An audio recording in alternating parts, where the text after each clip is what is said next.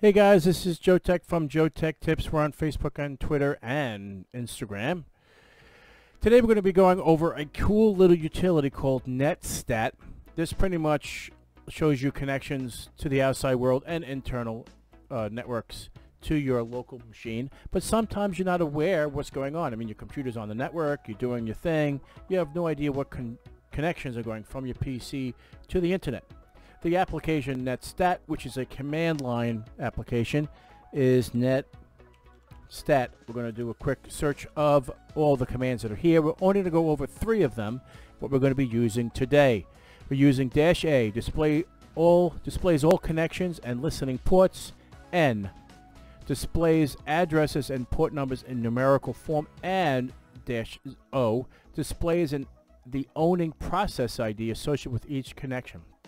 So we're going to do that right now. So it's net stat dash A-N-O A-N-O, Joe, come on.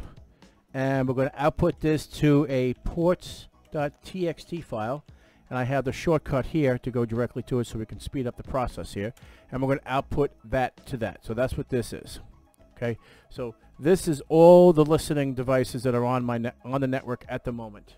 Okay, so we have, so what we could do is we go into, open up Task Manager. We'll take a peek here, okay? And go to Details. And this P, all these PIDs here will match all the PIDs here, okay?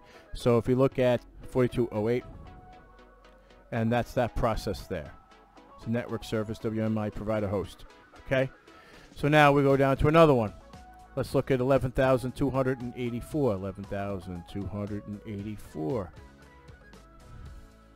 NVIDIA share. So that's the NVIDIA share. That's the IP address of NVIDIA. So this one's established. That makes sense?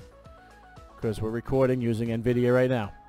Alright, so anything else on external IPs? We, we do not.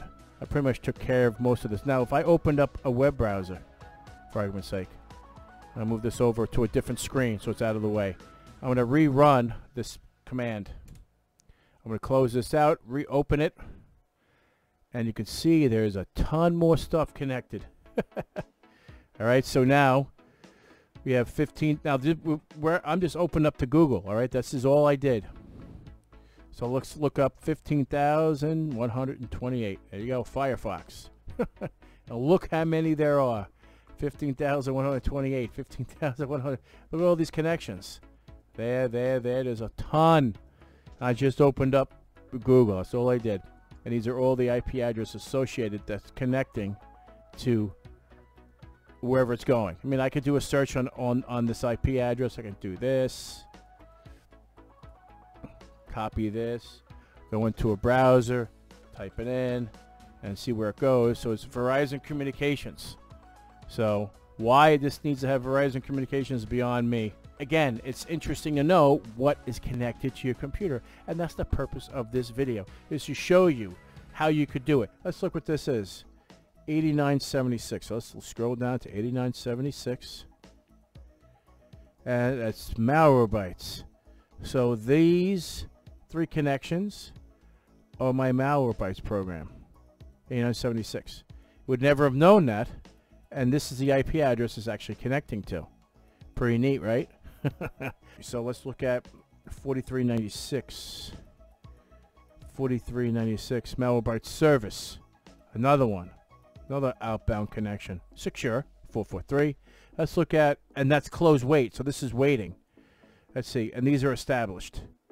All right. So this one's not really doing anything at the moment. It's waiting. Okay. Let's see what else we have. 10,580. 2005. Search UI. Search and Cortana app. That'll only run when it needs. See, it's shut off. So I'll hit it again. Go into the into the search search, and now it's running. If I click out of it, it'll stop running. Let's see. Give it a second. Yep, suspended. There you go. Okay, just want to show you how you could see what connections you have and go through a text document if you didn't add this portion of it here, it'll go right to the screen. All right, this is just outputting it so you can look at it through a document. So guys, if you like this video, give me a thumbs up. And if you're not a subscriber, please subscribe. Take care, and we'll see you next time.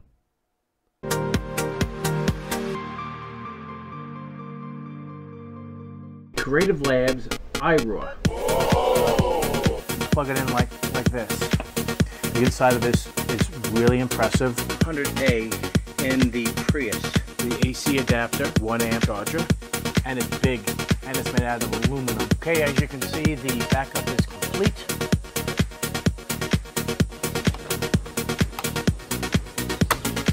Like so. Now you can create the RAID array. I mean, for, for the for the price difference between the two,